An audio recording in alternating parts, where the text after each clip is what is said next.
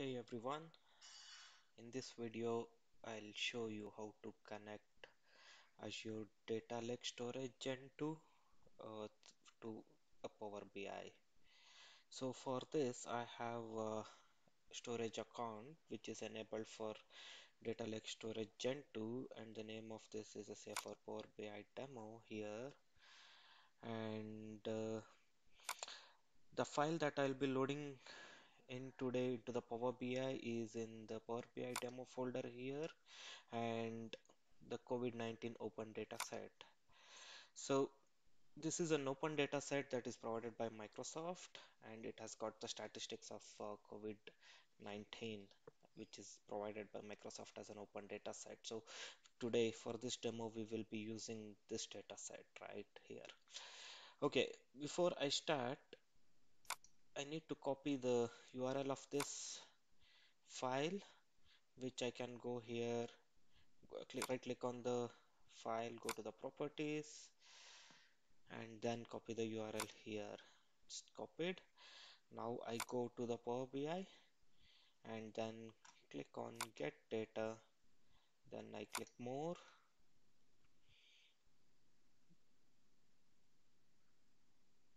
Now I go to Azure and I select the Azure Data Lake Storage Gen 2 and click on connect. So for Azure Data Lake Storage Gen 2 we need to do a slight modification to the URL so in this URL if you see there is a mention of blob. We need to change it to DFS and then click on OK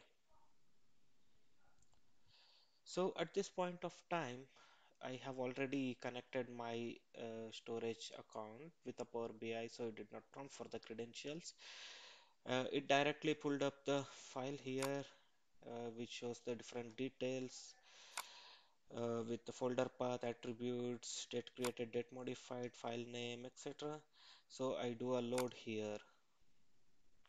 It's going to take a while because this is a pretty big file and uh, it will start loading the data into the Power BI you can see the various uh, operations that are happening at this point of time. The, the Power BI is loading the data from the CSV and it has processed 150 MB so this file is approximately 900 MB and it's going to take a while here.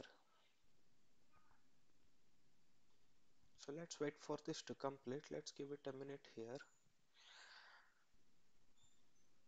so this is how easy we can load our data load the data from uh, Azure Data Lake Storage to the Power BI for for different data analysis.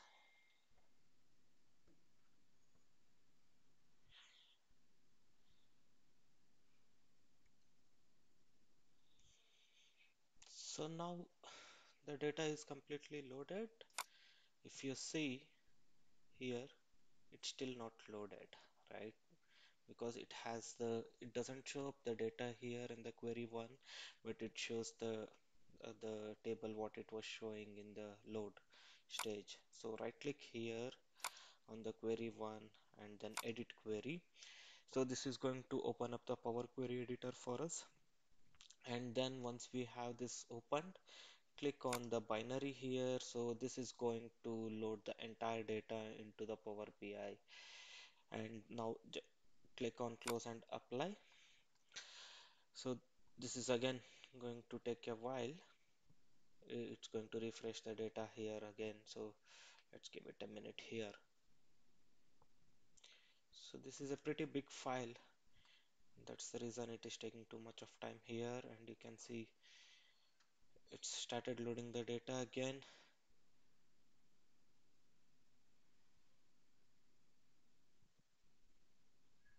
once the data is completely loaded we see the different columns from the data set onto the query one here.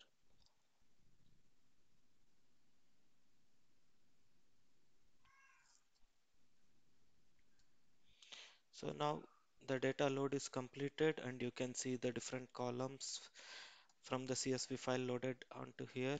So I'll take a map report to demonstrate the data load here for the visual right? So I have the latitude and longitude fields so I'll drag and drop it to the latitude of longitude.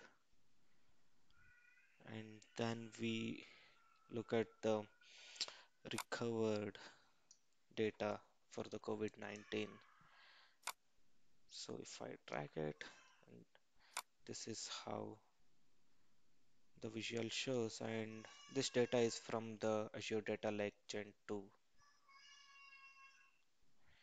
so that is all for today. Thanks for watching. Subscribe to my channel